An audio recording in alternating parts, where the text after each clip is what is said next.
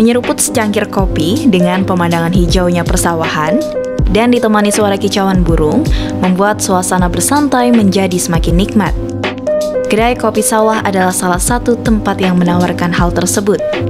Berlokasi di Jalan KS Tubun, Komplek The Green Padi, Kelurahan Kandangan Utara, Kabupaten Hulu Sungai Selatan, kedai kopi sawah ini berdiri tepat di rumah sang pemilik yaitu Hussein Asyari.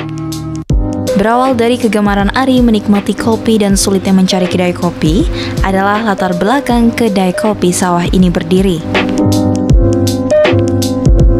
Sudah tiga tahun kedai kopi sawah ini berdiri, lebih tepatnya sejak tahun 2018.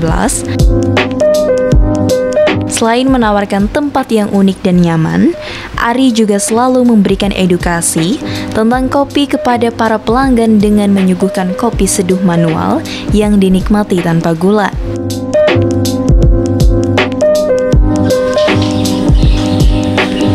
Assalamualaikum warahmatullahi wabarakatuh. Ya, perkenalkan nama Ulun Hussein Asari, biasa dipanggil Ari.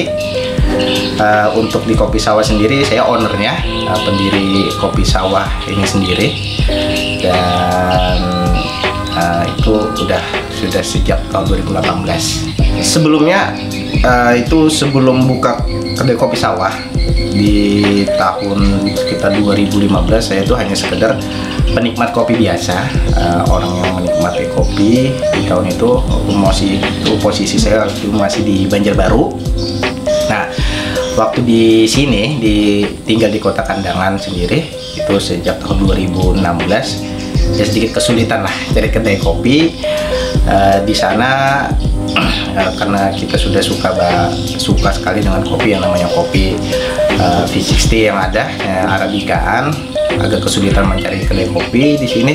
Nah, dari sana terpikir buat uh, untuk membuka usaha. Nah, namun sebelum itu uh, sempat ada gejolak-gejolak dikit karena lokasi tempat kopi sawah sekarang kan uh, jauh dari keramaian. Waktu itu cuma di komplek perumahan ini cuma ada satu rumah dan tentu itu hal tidak begitu mudah untuk buka kedai di sini apalagi waktu tahun sekitar tahun 2017 uh, di sini masih agak tabu. Yang namanya uh, kopi tanpa gula. Yang seperti yang disajikan di uh, spesialitinya di kopi sawah ini itu dengan gelas kecil dengan harga 13.000 tuh mungkin uh, waktu itu masih sedikit agak lebih kemahalan dibanding dengan uh, yang kopi-kopi di warung-warung dengan harga 3.000 sampai 5.000 udah dapat uh, porsi besar. Nah, itu itu sih awalnya kenapa sih tertarik buka di dunia kopi ini? Nah, itu uh, kayak tadi buka kopi di sini karena awal kesulitan tadi untuk mencari untuk menikmati lah kita untuk menikmati sebagai penikmat kopi untuk menikmati uh, kopi-kopi arabica. Sebelum ada kopi sawah ada satu kedai kopi di sini juga uh, dan itu uh, karena di sini masih jarang nggak ada pilihan lagi selain di sana. Di sana mulai uh, saya kalau seandainya tiap hari berpikir kalau seandainya tiap hari harus kopi keluar dan budget uh, harga waktu itu 20.000 itu rasanya berat kan bagi kita di situ. Nah kenapa sih nggak uh, coba buat buka usaha sendiri aja Uh, tapi tentu tidak mudah waktu itu membangun kopi sawah karena uh, lokasi di sini lokasi yang kita lewati ini jalan tuh buntu uh, dan walaupun di tengah kota ibaratnya kota kandangan dan di depan komplek itu gelap mungkin beberapa orang aja yang tahu bahwa di dalamnya ada kedai kopi nah uh, perjuangan tentu tidak mudah untuk membangun kopi sawah dengan budget waktu itu awal mula buka eh, sejuta lima ratus. Ya nah dengan pikiran dengan budget itu cukup lah karena tempat tidak menyewa karena udah rumah sendiri terus uh, setidaknya tidak ada orang buat konsumsi sendiri untuk penghematan pengeluaran. Nah di sana ya dua minggu buka kedai kopi ini hampir tidak ada orang yang yang datang ke sini. Ibaratnya pelanggan pun tidak ada yang datang karena ya tadi masih promosi uh, promosi terus walaupun dua minggu uh, aktivitas pagi kan dulu kerja di rantau. Jadi kalau sore buka kedai kopi uh, sampai malam tuh udah selama dua minggu tuh buka nggak ada yang datang udah malam tuh udah balikin lagi alat-alat ke dalam lagi terus tiap hari kayak gitu. Uh, sampai dua minggu uh, tidak ada pelanggan. Ya tadi uh, promosi terus gencar waktu itu masih dengan media sosial karena di masyarakat di sini masih banyak menggunakan media sosial khususnya Facebook. Nah di sana saya terus promosi-promosi dan akhirnya ada datang satu dua orang satu dua orang tadi akhirnya membawa orang uh, beberapa orang membawa teman dan terus akhirnya terus berkelanjutan seperti itu. Uh, boleh saya bilang kalau kopi sawah ini tentu adalah satu kedai yang sangat berbeda dan mungkin uh, sebenua enam tapi atau mungkin cuma di sini yang bisa menikmati uh, ngopi. Kalau siang hari ya kalau siang hari ngopi sambil melihat persawahan dan sambil melihat yang namanya pegunungan Meratus. Itu dengan apalagi dengan cuaca yang cerah langit yang bagus itu kita membuat uh, nuansa uh, nuansa ngopi kita serasa istimewa. Nah, dan ditemani oleh suara burung kan di sini dan hijaunya persawahan apalagi kalau sekarang lagi musim tanam. Nanti kalau sekitar tiga bulan nanti ada namanya musim panen kita melihat langsung.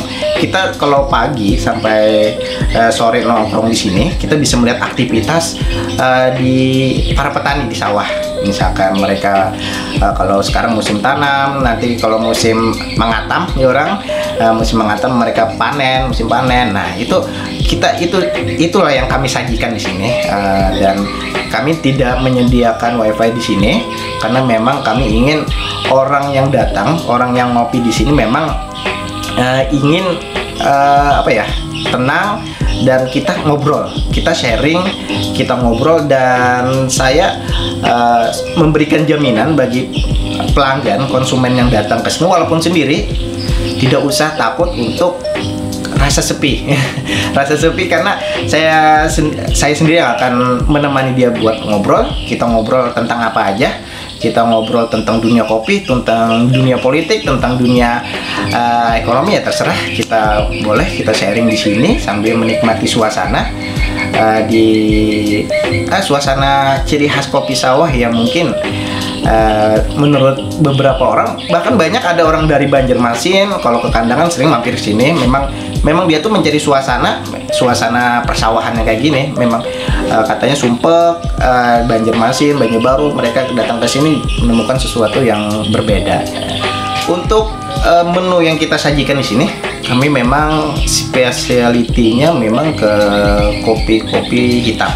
Memang kopi-kopi hitam, kopi-kopi klasik. Uh, itu kami menemukan uh, di sini para penikmat kopi khususnya single origin kopi-kopi uh, hitam itu untuk metode penyajian mereka bisa milih mau uh, manual tuh ada V60 ada Koka, ada Kalita, itu terserah, ada tubruk pun bisa terserah. Dan untuk kopi susu itu kami menyediakan memang kopi klasik. Kopi misal menggunakan metode v, uh, Vietnam drip atau kopi susu filter dan itu memang spesialitinya. Karena memang kami pengen uh, seakan orang datang sini uh, merasakan sesuatu yang klasik. Uh, tidak yang uh, kebanyakan kopi kekinian kami memang menyajikan uh, klasik di sini. Karena jadi orang ke sini memang tahu orang-orang uh, yang tahu memang konsep kopi sawah ya gini. Uh, kopinya single origin yang tersedia uh, dan kopi-kopi susunya kopi klasik. Tapi kami juga menyediakan yang non coffee non coffee misalkan ada beberapa varian non coffee yang mungkin dia tidak ada beberapa mungkin yang datang sini tidak satu dua orang tidak semua harus uh, suka kopi. Ada juga yang pengen non kopi kami juga beberapa uh, menyajikan yang non kopi seperti coklat uh, uh, red velvet dan matcha atau green tea itu juga kami sajikan. Nah, kopi yang saya sajikan sini mungkin masih rasa tabu, merasa uh, aneh dengan kopi rasa asem wah nggak pakai gula rasanya sesuatu yang aneh bagi masyarakat di sini. Apalagi dengan gelas kecil dijual harga 15 sampai 20 ribu itu nah di situ kita mengedukasi uh, konsumen yang datang ke sini. Saya berusaha untuk mengedukasi mereka. Uh, saya mengenalkan dulu pastinya kopi bahwa ini kopi arabica bahwa ini kopi robusta mengenalkan apa sih perbedaan arabica dan robusta. Dan uh, saya berusaha untuk uh, konsumen untuk berdiri atau duduk di meja bar di depan meja bar maksudnya. Kenapa? Karena uh, saya ingin mereka tuh melihat setiap proses uh, step by stepnya dalam pembuatan kopi, uh, segelas kopi hingga bisa disajikan. Nah, misalkan dari menggiling kopi, terus uh, penyeduhannya dan dan dari sana kami berharap ya konsumen yang datang itu mereka penasaran, penasaran dan mereka bisa bertanya langsung. Walaupun akhirnya mereka tidak meminum ibaratnya, setidaknya mereka tahu dulu ternyata tidak se dengan harga segitu yang lumayan cukup mahal uh, uh, mereka tahu prosesnya sebenarnya tidak tidak mudah. Nah, dalam step by step tadi. Nah, saya untuk uh, berusaha untuk mengajarkan mereka mencoba untuk sedikit uh, ya kita tuh bahasa marasai marasai akan dulu. Walaupun jadi saya mereka tahu oh ternyata kopi kalau kopi arabica rasanya asam jadi setidaknya tahu dulu. Walaupun akhirnya mereka tidak akhirnya ujung-ujungnya mereka memilih kopi uh, kopi susu akhirnya. Tapi setidaknya saya udah berusaha untuk mengenalkan mengenalkan. Dan biarkan mereka tahu dulu rasanya uh, oh ini masam bahwa saya menjamin bahwa mereka uh, kopi ini tidak walaupun tidak pakai gula tidak menggunakan gula itu uh, tidak pahit. Malah rasa asam ada akhirnya aftertaste atau uh, di akhirnya akan meninggalkan tetap rasa manis tidak meninggalkan rasa pahit. Nah itu berusaha. Ya tadi itu sebagai uh, upaya mengedukasi mereka. Kalau konsumen yang tidak awal tidak mengerti tentang kopi uh, single origin atau manual brew ini agar tahu setidaknya mereka tahu bahwa perbedaan oh ini kopi robusta ternyata rasanya beda dengan kopi arabica. Nah ya syukur-syukur mereka lebih uh, datang lagi untuk lebih mungkin penasaran datang lagi untuk uh, lebih ingin mengenal oh, mengenal itu itu sebuah artinya uh, suatu kebanggaan bagi kami saya sendiri untuk datang sini kalau ada uh, konsumen yang langsung melihat dan bertanya. Uh, artinya tersampaikan edukasi kami tentang uh, kopi ini manual brew ini. Uh, setiap setiap kedai yang ada di setiap daerah hulu sungai pastinya hulu sungai selatan itu pasti mempunyai uh, ciri khas dan konsep masing-masing ya. Kita uh, dan konsep kopi sawah sendiri sudah saya bilang itu berbeda. Tidak seperti kedai-kedai kopi kekinian yang menyajikan. Nah saya meyakinkan uh, di kopi sawah bagi uh, orang yang belum ke kopi sawah atau yang sudah pernah pasti yang datang di sini pasti men, uh, mendapatkan sesuatu yang istimewa dan sesuatu yang berbeda dari kedai-kedai yang lain. Nah, ya tadi uh, kalau uh, mungkin sumpek dengan pekerjaan kantor atau sumpek dengan kegiatan-kegiatan luar bisa di sini mencari untuk suasana tenang sambil uh, segelas kopi menemani atau menemani aktivitasnya misalnya sambil bekerja melakukan uh, tugas atau apa. Nah itu itulah kelebihan dari kopi sawah sendiri daripada kopi-kopi yang lain.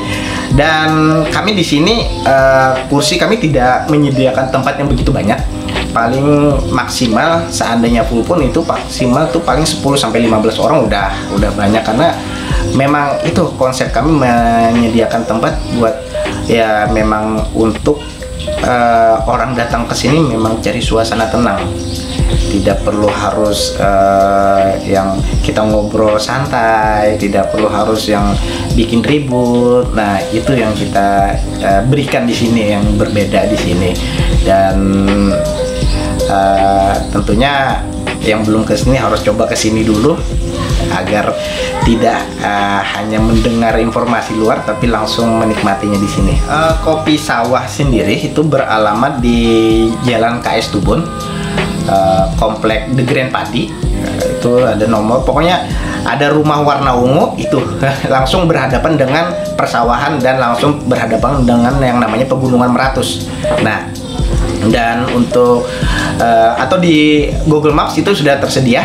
Tinggal cari aja ketik aja gua kopi sawah kandangan itu langsung udah. Nah, dan jam buka sendiri kami buka mulai pagi sekarang mulai pagi uh, sampai sore.